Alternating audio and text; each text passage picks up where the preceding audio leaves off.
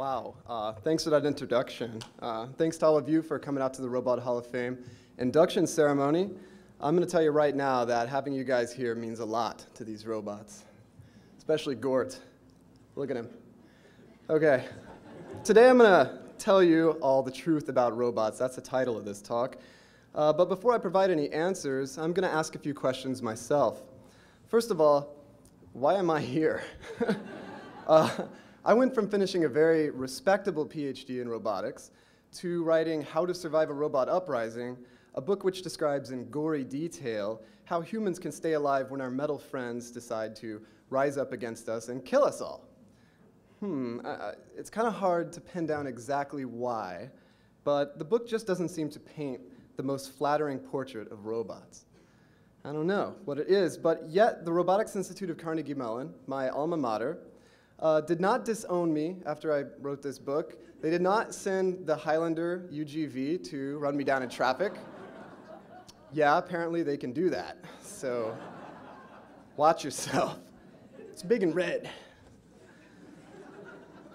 No, indeed, they invited me back here to give this talk. So my next question is, why did so many robotics researchers actually lend me their expertise while I wrote this book? Uh, I interviewed graduate students, professors, defense contractors, and uh, professionals from industry, and uh, you know, I walked right up to these extremely successful, uh, smart, and serious people, and I asked studious questions like, so how would you conduct hand-to-hand -hand combat with a robot? Or, you know, just saying, how would you bring down a giant walker, you know, just in case you were there and the came walking. And, uh, you know, can a Terminator really run as fast as my car? Because, you know, I drive pretty fast. Uh, so the people I spoke to were actually really happy to envision these absurd scenarios. And uh, the, the, scenarios were taken straight from science fiction, yet that didn't phase uh, the researchers that I spoke to in the least. They gave me serious, thoughtful answers. Sometimes the answers were short. One of my favorite answers came from Gregory Abowd, uh, a well-respected expert in the field of ubiquitous computing down at Georgia Tech. And so uh, ubiquitous computing and smart houses, that was also my uh, research area when I was at Carnegie Mellon. And so I was very proud to give Gregory a section of the book to review called How to Escape from a Smart House. So this is what to do when you know, your house decides to slowly start trying to kill you by uh, leaving the doors open for burglars, stuff like that. And so Gregory read it, he, he reviewed it, and he gave me back a short note that said, you know, it was a good section, Daniel, but all the advice was so obvious. well, you know, I think that was probably the best thing that he could have said. You know, it's, it's obvious to a roboticist, and that word does exist, roboticist. I love it. so anyway, I could be wrong, but the people I interviewed, they even seemed to think that it was fun to uh, consider these imaginary situations. And now my last question is why is the general public so fascinated by killer robots that want to, you know, rip us to shreds? I went on a tour to promote the book, and it was great. Everybody laughed with the book. Uh, they thought it was really funny, which is good because that's what I was going for with it. Uh, actually, I should mention there were uh, the people in Berkeley, California, didn't think it was very funny. they uh, they're apparently terrified by robots and scientists and the government. But generally, people were fascinated. And as a result, they asked lots of fantastic questions, which I really love to answer. Some were really straightforward, like, how can I fool face recognition? You know, you just put on a hat and a fake mustache. It's not that hard. Uh, do robots watch me while I sleep? Yes. Uh, but just as often, I would hear questions like, could a robot defeat a zombie? yeah. And you know, I would do my best to answer. And then there's the inevitable follow-up question, which is, but what about a robot zombie? and that's just silly, I think. it's got nothing to do with reality. Uh, so anyway, I was left wondering why these people are laughing about killer robots instead of running for the hills like my book suggests that they should do immediately. So, to sum up, why did the Robotics Institute invite me back after I wrote a book exposing the secret lives of killer robots? Why did robotics researchers give me advice in the first place? And finally, why do most people think that robots, even killer robots, are fascinating and funny? And here's my attempt at an answer. Robots have always been a combination of fact and fiction. The fictional robots in movies inspire us to build real robots. And those real robots go on to inspire Hollywood producers to pay Arnold Schwarzenegger $30 million to get naked in yet another Terminator movie.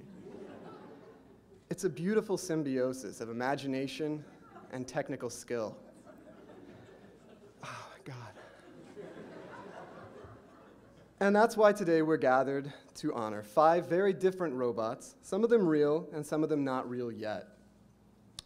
Some robots have had a subtle, widespread aesthetic influence. For example, since her inception, Maria from the 1932 film Metropolis has been key to the design of sexy robots. Other robots have had a technical influence. The dog-like Aibo robots provided a widely accessible platform for research on multi-robot cooperation, and I don't know if any of you have ever had this experience. It could be just me, but nothing beats the feeling of stumbling upon a group of wild Aibos playing soccer in a misty meadow. There's just something really magical about that. It's beautiful. Don't worry, I'm getting almost to the last page here.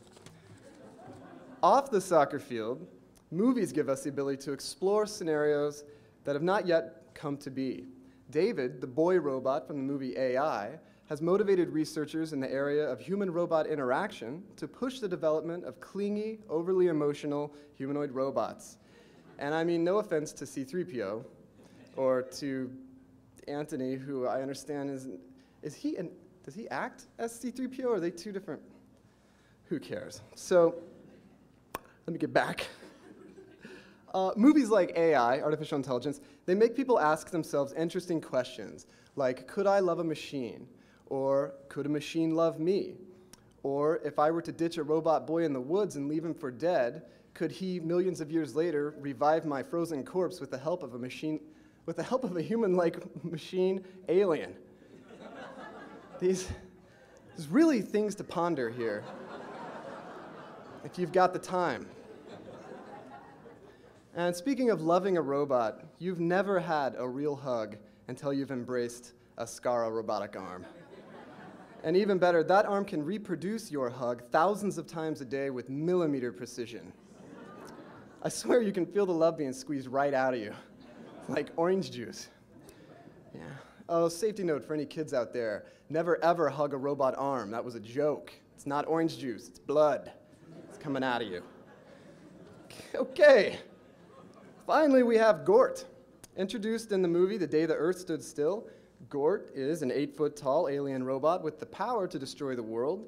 Gort wasn't a very talkative movie robot, but he came to teach humankind one lesson humility.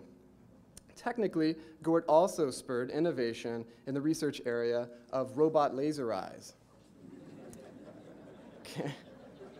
That was a lie. I know it's supposed to be about truth.